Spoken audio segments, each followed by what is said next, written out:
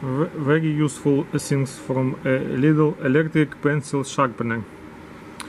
Uh, very very useful for us because our son is in school now and uh, for him sharpener for pencils very badly needed things okay let's unpack it open it uh, very very big instruction. It's not interesting for us. And here we have oh we have here some battery included it's very good for us because we don't, don't need to buy them.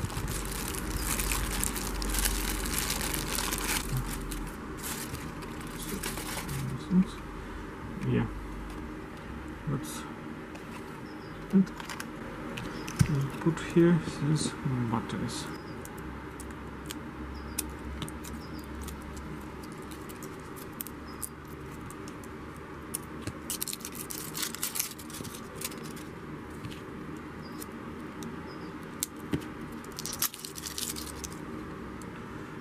plus minus plus.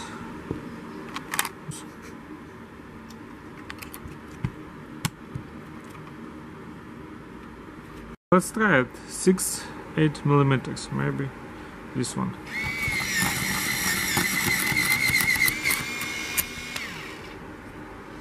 Like new one.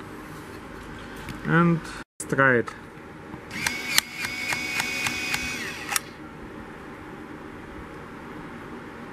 like new one. Very good stuff from Lidl 5 euro. To clean this uh, sharpener is very very simple task.